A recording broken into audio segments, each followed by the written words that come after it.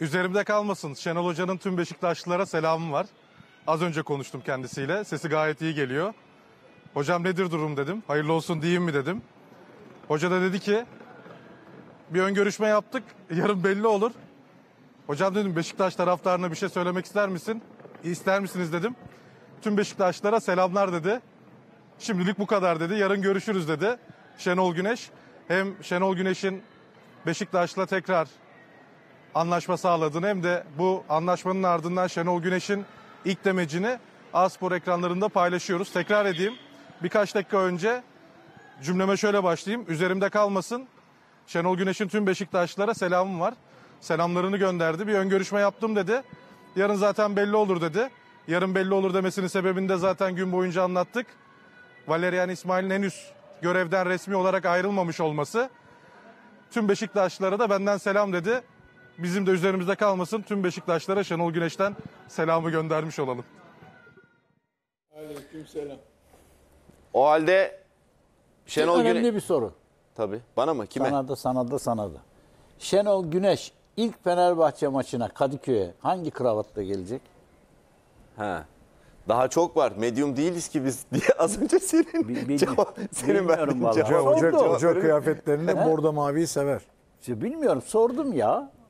Bilmiyorum da yani Ya sordum. belki de kravatsız gelecek abi. Şimdi kravatsızlık da moda yani. Ay yani bilmiyorum. Ben Ha, bir de Beşiktaş e, Kadıköy'e giderken ne durumda olacak o da var. Tabii. Yani. Dolayısıyla bence iyi bir anlaşma. Şimdi yani bu işler e, öyle bir şey ki biz tabii e, her şey sadece Bir şey mi söyleyecekmiş? Yine mi? Tamam. Hemen. Hemen o zaman özür diliyorum. Sercan'da sıcak gelişme bitmez. Ara ara böyle özür dileyerek keseceğim. Kusura yok bakmayın. yok hiç özür Bu dileme. gece hararetli bir Biz gece. gazeteciyiz haber. Tabii her ki şeyi en iyisi keser. anlarsınız. Sercan yine söz sende. Şenol Güneş Cuma günü Beşiktaş'ın başında antrenmana çıkacak. Hafta sonunda Ümraniye Spor'la oynanacak olan maçta Vodafone Park'ta yedek kulübesinde olacak. Güzel. Daha ne olsun yani en net bilgiyi verdin. Sercan artık benden bir yemek ye acıkmışsındır sabahtan beri. Hakikaten ya. Ne dedi? Ee, Sonuna geldik. Cuma günü idmana çıkıyor. Pazar günü de 17'de Beşiktaş Ümraniye maçında Vodafone Park'ta oluyor. Sercan çok teşekkür ediyoruz normal ama zaten, ne olacak? yine ne olur ne olmaz bir bağlanabilirsin sıcak bir gelişmeyle. O yüzden tamamen e, yolcu etmiyoruz seni program sonuna kadar. Çok teşekkürler. Ne No- diyorsunuz? E, normal zaten yani zaten Yani hoca iyi ki iyi ki Sercan bağlandı. Sen devam ediyordum. Beni iyi ki kesmişsin. Ne diyecektim biliyor musunuz? Yani bu işler daha e, Valerian İsmail'in işi resmiyete dökülmedi. O resmiyete dökülmemenin gerekçesi parasal şeylerin netlik kazanmasıdır. sözleşmede bir Tabii. madde Ondan varmış. sonra AŞ olduğu için 450 bin resmi euro. evet. olmadan yani o, açıklayamıyorsun. o, ha, o iş o iş kesinleşmiştir. Hop Şenol Güneş'te kesinleşmiş oluyor. Yani yarın başlamıyor, cuma başlıyor. Cuma. Bence yarına başlayabilir canım. Takım. Yarın prosedürler herhalde ne halledilir. olursa olsun ben olsam bir gün evvel erken çıkarım maça takıma. Konuşurum. Cuma günü çıkıp cumartesi tatil verip Yani yani belki kampa ne pazar günü. uzaklarda bir yerdedir yarın anca gelecek. Abi neresi uzak? En uzak yer bir buçuk saat, iki saat Türkiye'de abi. Uçakla ya. Peki tekrar vurgulayalım. Cuma günü idmana çıkıyor. Cumartesi idmana çıkıyor. Pazarda maça çıkıyor. Son durum bu. Şenol Güneş'le ilgili. Evet Jesus'la mücadeleleri ligde nasıl olacak? Bunu da e, merakla bekliyoruz. Şimdi o zaman e, tabii çok konuştuk günün en sıcak gelişmesi olduğu için Şenol Güneş'i Beşiktaş'ı. Galatasaray tarafına geçelim. Sıcak bir açıklama, bugün yapılan bir açıklama. Levent abiye sorarak başlayayım. Okan Buruk demiş ki toplantı yapmış oyuncularla. Gerekirse hakemleri de yeneceğiz ve şampiyonluğa ulaşacağız. Hakemleri yenmek mümkün mü?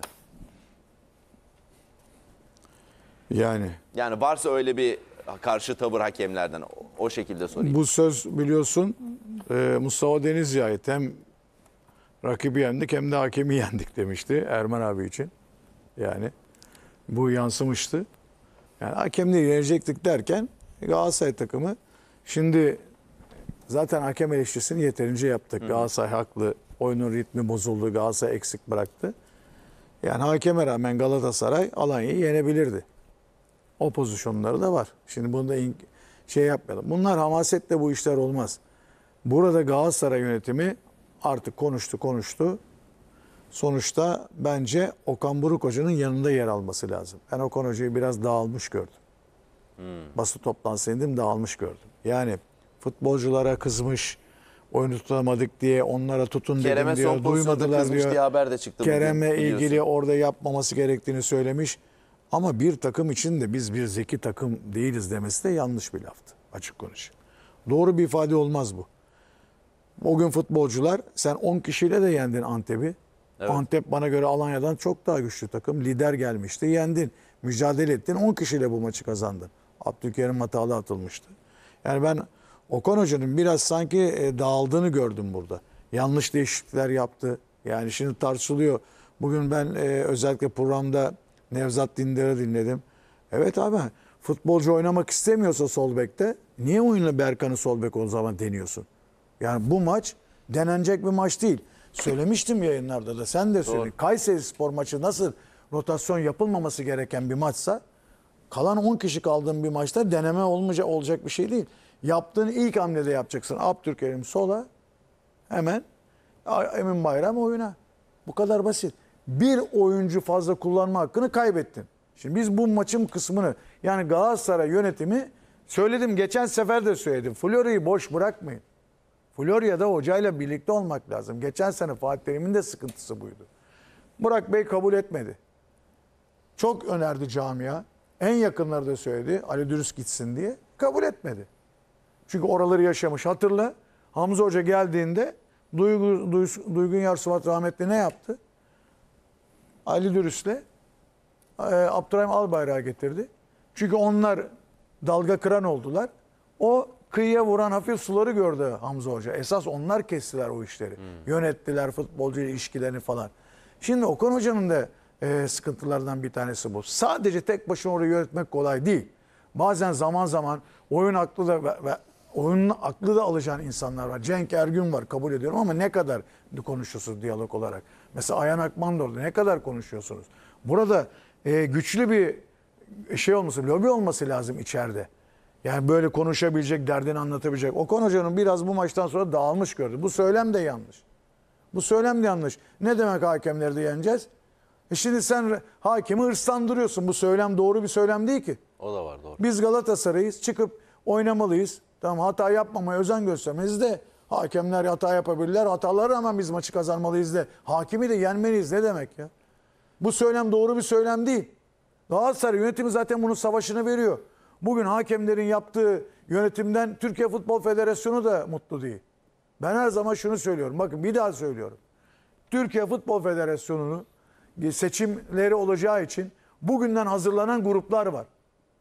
O gruplar ne onun adı? Bugünkü mevcut Türkiye Futbol Federasyonu'nun başarılı olmaması için çaba sarf ediyorlar. Burada bunların kendilerine göre bir güçleri var. Acaba bu hakemler bunun bu güçlerin bir parçası mı? Bunu araştırmak lazım.